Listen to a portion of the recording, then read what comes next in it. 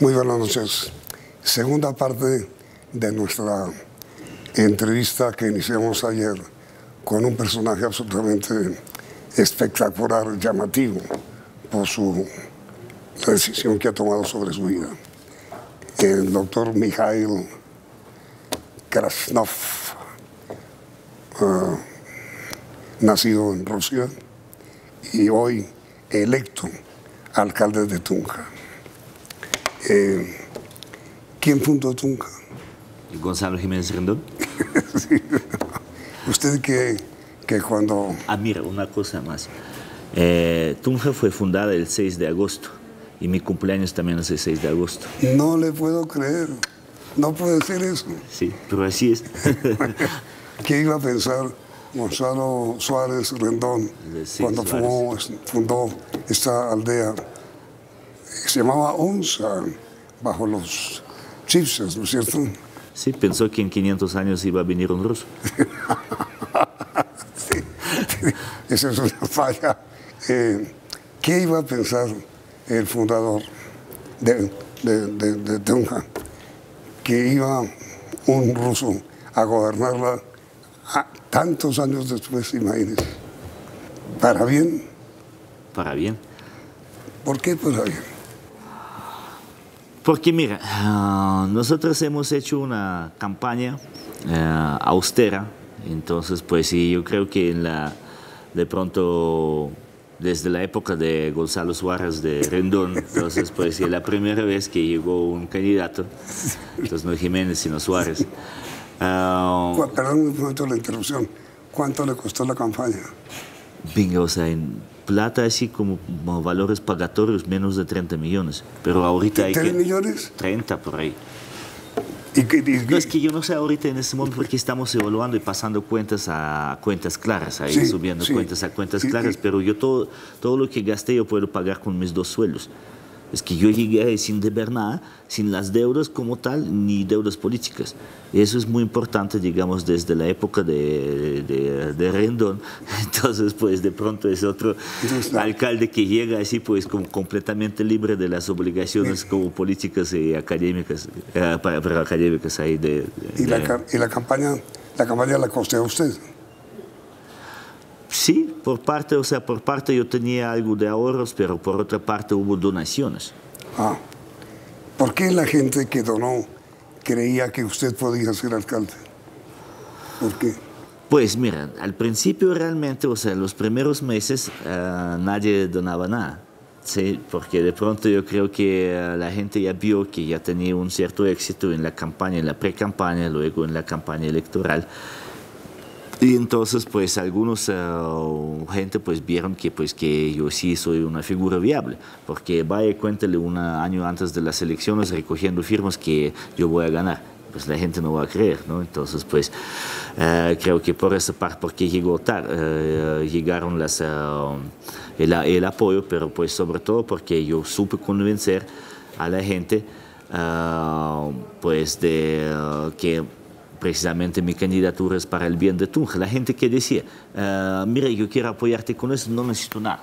Eso es lo que decía la gente. ¿sí? mira, uh, quiero apoyar con eso, pues uh, ojalá que gane. Miren, ¿usted va a gobernar con quiénes? Con la gente. Sí, claro, pero ¿con quiénes? Pues yo tengo un equipo, entonces estamos ahorita formando un equipo para el empalme. ¿El equipo con el que hizo la campaña? Uh, parcialmente, pero no todo, porque nosotros, uh, digamos, pues claro, que el equipo de campaña también sí, pero sobre todo, uh, ¿usted pregunta por el gabinete o por el empalme o como tal por el gobierno? por el gobierno, por su gabinete.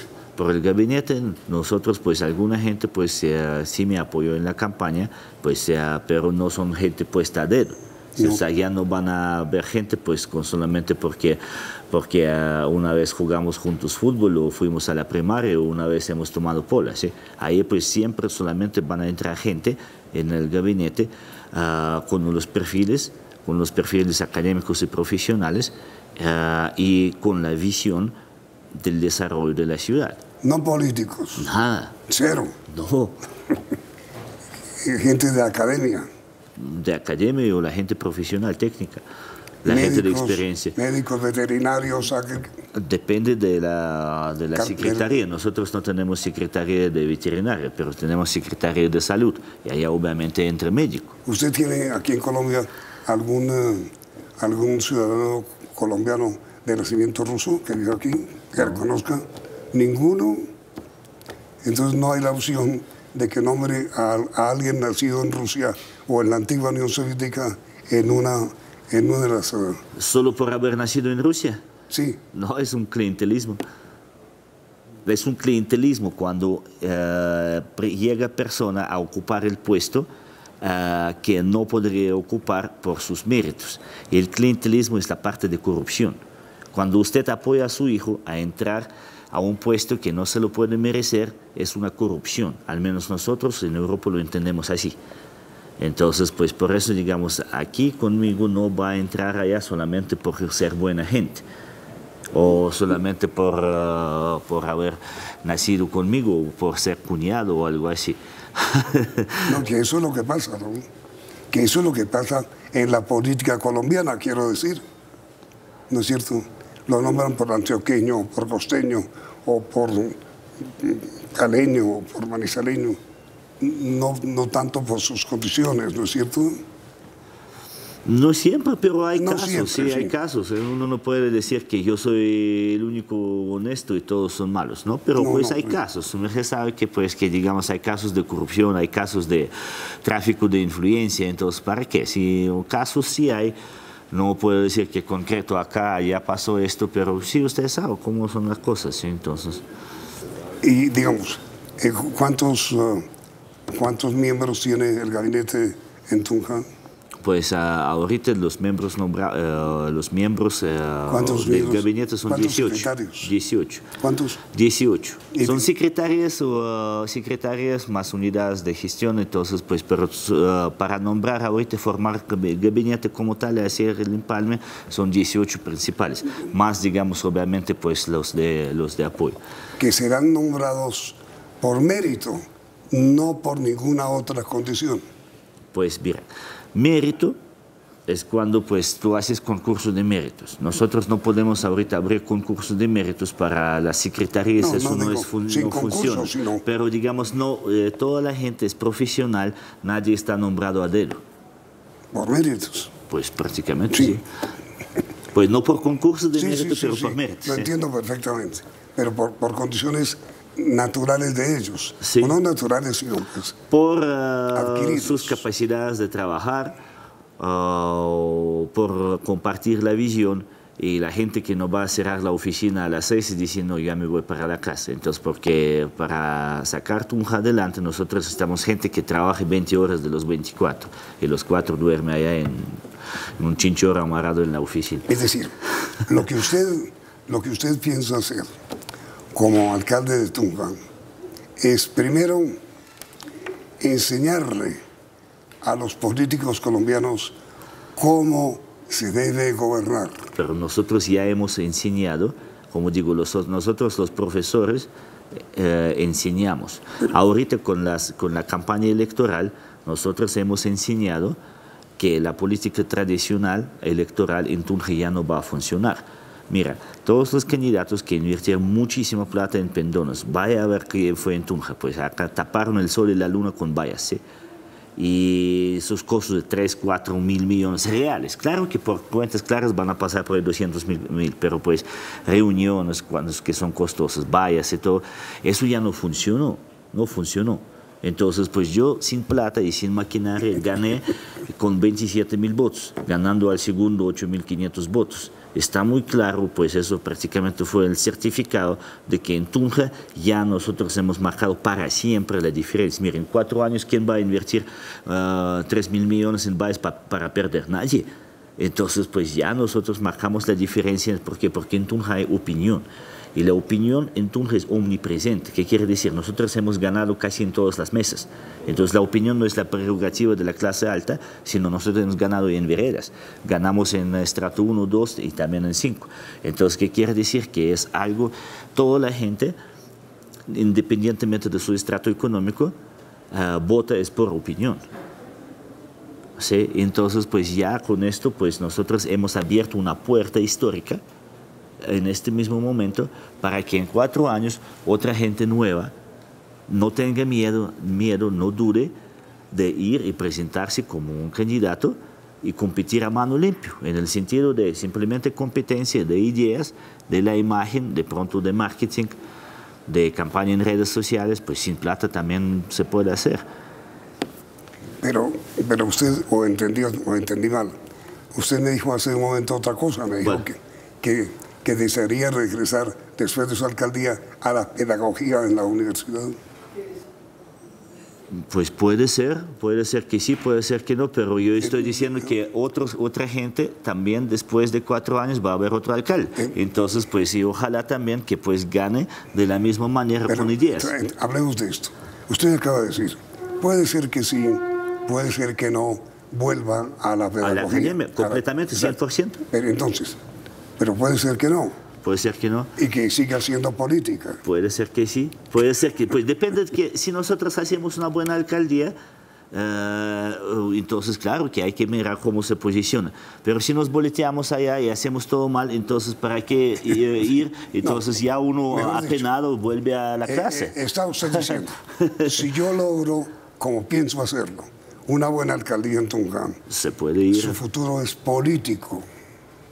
Sí. Sí. ¿Para hacer qué? Bueno, uno puede pensar en la gobernación, uno puede pensar en la, en la Cámara, sí, pero pues ahorita yo no pienso tan, ah, tan lejos, yo estoy pensando ahorita primero en Empalme uh, y pues luego pues el primer año pues impulsar el trabajo de la alcaldía según la visión y elaborar pues todo el plan del desarrollo, entonces pues que las cosas funcionen. Y luego pues después de cuatro años que si nosotros damos cuenta y esto también, como damos cuenta, el mismo ciudadano va a decir, ah, si tú sales a la calle y todos te quieren abrazar, eres buen alcalde. Si sales a, la, a, la, calle y todo el mundo quiere pegarte, entonces pues tú eres mal alcalde. ¿sí? Entonces eso nosotros vamos a saber qué va a pasar en cuatro años. Si yo veo que realmente ah, mi gobierno en la alcaldía fue para el bien del Tunjano, y nosotros podemos extrapolarla, por ejemplo, a nivel de gobernación o a nivel, digamos, de otras entidades, pues sería bueno. Pero si fue todo mal, entonces pues ah, ya uno no puede pensar en más, hacer más política, porque uno no puede hacer política solamente por hacer política, como a veces sucede. Como casi siempre sucede. Pues yo no tengo problema real, eh, regresar a las aulas, pues yo tengo doctorado, tengo educación, pues yo puedo trabajar en una universidad. Hace poco gané concurso de maestros, por ejemplo, pues yo a mí no me asusta dictar clases, me gusta al revés. Lo que dije yo que de pronto, después de un año, de pronto me, como que me va a quedar un poco más tiempo, digamos, porque ahorita toca hacer muchas cosas, aprender también mucho, ¿sí? entonces aprende uno rápido, ¿sí? Uh, en el sentido de, pues, de formar el gabinete, formar cosas, entonces pues de pronto en un año yo quisiera de pronto tener como una cátedra, unos cuatro horas, ocho horas semanales así en una universidad, pero puede ser que sí, pero puede ser que nosotros vamos a estar tan ocupados allá en el gobierno que no queda tiempo. Pero sí, yo no quiero alejarme de la academia. Es más, desde la alcaldía nosotros debíamos uh, o vamos a, a, fortalecer esta alianza entre la, uh, entre la alcaldía y las universidades que tenemos. A ver, lo que un ruso elegido sorpresiva y sorprendentemente como alcalde de Tunja haría como alcalde y lo que no haría. ¿Qué haría y qué no haría? Eh, Mikhail Krasnov, nuevo alcalde de la ciudad de Tunja. ¿Usted qué no haría o qué no hará como alcalde? Pues yo no haría negocios con la conciencia. Por ejemplo, pues yo no, yo no pediría coimas coima es, usted sabe, ¿no? En Tunja se dice, digamos, porcentaje por ejecutar algún contrato o por dar un puesto por hacer favor político. Yo no haría esto porque a mí me parece es algo muy miserable. ¿Qué, ocurre actualmente? ¿Qué ocurre esto? Pues eh, a veces, y a veces llega a lo extremo, eh, un contrato de 10 millones la coima 4. ¿Me da tanto? pues sí, digamos, es que la gente no tiene límites sobre todo. Yo no sé qué hacen con toda esa plata. Entonces, pues eso es lo que yo de ninguna manera haría, ¿sí? Tampoco me gustaría, digamos, pues cuando uno camina por la calle y empiezan, no se olvide de mí, no se olvide de mí, perdón, es que vengan, o sea, aquí estamos para, para luchar contra la corrupción, ¿sí? Perdón, cuando uno camina por la calle y qué? Y de pronto a veces como la gente insinúa, como que no se olvide de mí, como que deme algo. Mm. Digo, no, pues nosotros lo que sí, ahora qué es lo que sí haríamos acá nosotros en, en la alcaldía. no va a ser un burócrata. No, porque eh, darle a usted es quitarle a otro. Entonces, ¿qué hacemos con esto? Pues nada, es la misma corrupción de siempre. Porque la idea es, o qué es lo que haría yo en la alcaldía, es dar la oportunidad a todos. Son beneficios indirectos. Yo siempre digo, traigan proyectos y los desarrollamos, porque un proyecto no beneficia a un hogar o a una persona, sino beneficia a una cierta parte de comunidad, pues depende del proyecto, ¿sí? o beneficia a todos. ¿Sí? Entonces, por ejemplo, el desarrollo económico, traer empresa y crear puestos laborales para que la gente misma, con la hoja de vida, tenga la oportunidad, sin lagartear, tener un puesto laboral. Pues es lo que debe ser. Óyeme, ¿qué significa la palabra lagartear? Entonces, lagartear es humillarse, digamos, uh, ante un político, algún poder teniente, para que le den algo que él no, debe, no puede conseguir de la manera, pues, uh, eh, meritocrática, ¿sí? Entonces... Usted me ha dicho lo que no haría. No haría. Ni lagartear, ni recibir coimas, ni recibir parte del contrato, ni, ni olvidarse de las necesidades de la gente. Lo que haría, lo que hará. Eh, lo que haré, digamos, el punto clave, principal y fundamental del eh, gobierno, de la alcaldía, de la visión, es traer el desarrollo económico a Tunja. ¿En qué sentido?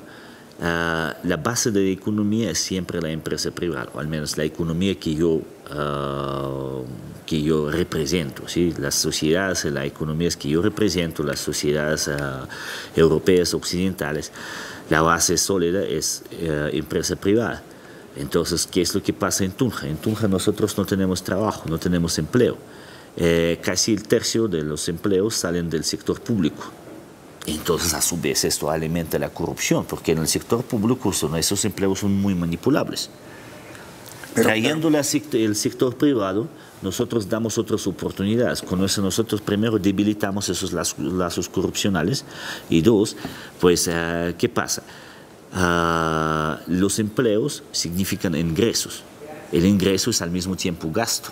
Entre más gasto hay, crece la tal demanda agregada o crece el mercado. ¿Por qué? Porque la gente tiene más poder adquisitivo. Ah, surgen nuevas necesidades y surgen nuevas empresas que enfocan, se enfocan en satisfacer esas necesidades. Crece la economía pero hay que traer los primeros inversionistas.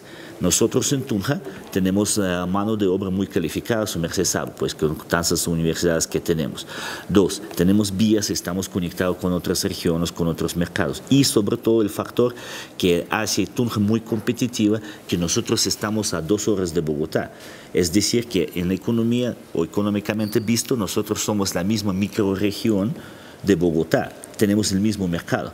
La empresa que se asienta en Tunja tiene acceso inmediato al mercado de, 10 millones de habitantes entre Bogotá y Tunja. Por eso es, nosotros somos altamente competitivos, tenemos potencial para desarrollar y por eso pues yo quiero trabajar es con los empresarios. A mí no me gusta hablar con políticos. Los políticos tienen un lenguaje raro, mentalidad extraña, como si fueran del otro planeta. Me gusta hablar con los empresarios porque es el idioma que yo entiendo. El empresario genera la riqueza, el político la quita. Pero mire, señor alcalde, eh, el gran problema que tiene Tunja parecería ser que Bogotá la absorbió. Primero porque tiene una muy buena vía de comunicación. Segundo porque, como usted decía, está a hora y media. Es decir, que Bogotá la, la ha absorbido. Hace, Tunja, digamos, podría ser parte hoy de Bogotá. Sí, es parte de Bogotá, sí. así es. ¿Y cómo va a ser usted para, para esa dicotomía, para, para, para, para que Tunja no dependa tanto de Bogotá? Pues mira, eh, dependencia de Bogotá o digamos eh, la cercanía de Bogotá eh, puede ser positiva. ¿Cómo? Trayendo las inversiones y creando empresas. Entonces, con eso el mercado laboral va a ser en Tunja también. Somos prácticamente barrio de Bogotá. De nosotros depende si este barrio va a ser caótico y olvidado o va a ser el barrio prestigioso para vivir y desarrollado económicamente. ¿Y, cómo va a ser para lograr semejante hazaña? Sí, es algo, es un reto, uh, un reto gigante. ¿Cómo? Trayendo las empresas, inversiones. Ah, trabajando con actores, por eso se llama el plan de gobierno Conectemos Tunja con el Mundo, no es solamente el eslogan ahí bonito, sino pues vamos a trabajar con inversionistas internacionales, entonces pues con ah, círculos uh, empresarios, de empresarios nacionales e internacionales. Que ya sepan que tienen un ruso. Embajadas hay creo que 63 embajadas acá actualmente, cámaras de comercio internacionales, hay organizaciones supranacionales como Banco, Banco Interamericano del Desarrollo, otros programas del desarrollo en cuanto a la economía. ¿sí? Entonces, pues, ¿qué es lo que pasa? Llega un empresario, quiere poner empresa en Tunja, lo primero que pregunta el alcalde, ¿cómo voy yo? O sea, pues pide la coima de entrada. Entonces, pues con estas prácticas obviamente nadie va a Tunja. Yo por eso quiero hacer el llamado a todos los empresarios que nos escuchen. A Tunja llegó un economista que habla el lenguaje empresarial y que no quiere pedir coimas. Nosotros desde la alcaldía los apoyamos en información, con recurso administrativo, con todo, pero pues por favor lleguen a Tunja. Poner empresa en Tunja es tener el mercado inmediato de 10 millones de habitantes, es tener mano de obra calificada Así pues prácticamente a nivel eh, personal, aprovechando de los medios, pues hacer el primer llamado pues para que hagamos proyectos, traigan proyectos privados de la inversión privada. Yo no estoy acá diciendo que no, pues que claro que hay que trabajar con el presidente, de pronto pues nos pueda ayudar con algunos proyectos de la nación, hay que trabajar con el gobernador, hay que trabajar con todos, pero para mí la base sólida de economía es el sector privado, no público. Pero miren, mi, pregunta una ciudad tan politiquera como ha sido Tunca durante toda su existencia. Una ciudad que ha sido manejada por politiqueros durante toda su existencia. Una ciudad que ha sido escenario del manejo politiquero, sí podrá aceptar esta mentalidad empresarial que llega para gobernarlo. Sí, lo que pasa es que yo siento que también me han apoyado círculos políticos que tradicionalmente uh, no deberían apoyarme, pero yo creo que yo supe convencer y mucha gente que tiene obligaciones con otros círculos políticos, pero al fin piensan, oiga, Russo tiene la razón. Es que la gente ya, nosotros estamos tan mal en Tunja, Ahorita si vaya, mira como el estado de malla vial, cómo está este, el estado de infraestructura física, cómo miles de personas andan por un puesto allá. Entonces, pues estamos tan mal que ya hasta la gente tradicional piensa que, venga, o sea, mantiene la razón. Entonces, pues yo creo que pues en este momento llegamos al, al momento histórico donde ellos mismos también permiten hacer. Además, pues yo no estoy acá peleando por el poco presupuesto que tenemos. ¿sí? Yo quiero traer nuevos eh, proyectos de tamaño muy grande, ¿sí? traer proyectos que nunca han visto en Tunja. ¿Por qué? Precisamente trayendo los empresarios y cofinanciándolos también con organizaciones internacionales. Hay que formular los proyectos también con el extranjero. ¿Cómo? Primero yo hablo idiomas, yo me sé mover en esos escenarios extranjeros y yo tengo credibilidad. Me creen. Mira, los empresarios serios no trabajan con los corruptos. Las embajadas no trabajan, las embajadas pagan coimas. No, eso nunca sucede. Con los corruptos nadie trabaja. Por eso están peleando por así, por, uh, por poco que hay. Mire, señor alcalde, me comprometo con usted y con nuestros televidentes que cuando cumpla los 100 primeros días como alcalde, lo invitaré aquí para que rinda sus primeras cuentas y que periódicamente lo seguiré invitando para que nos cuente cómo va su alcaldía y cómo va su lucha contra la politiquería. A ver si finalmente logra convencer a la gente de su aspiración a ser senador de la República o No, pues representar. no es la, no es la aspiración, pero pues eh, son unos posibles caminos. Uno puede volver a, a ser profesor, uno puede ser Oh. embajador, uno puede ser ministro, lo que sea, o puede ser simplemente ciudadano y trabajar y manejar camión, ¿por qué no? O sea, pues como Señor alcalde. se puede todo. Alcalde, bienvenido a la política. Gracias, Mucha suerte. muchas Y gracias, cuente con nosotros, muchas a gracias. usted. Y a ustedes televidentes, gracias por la sintonía y los invitamos a continuar aquí, en Noticentro CM.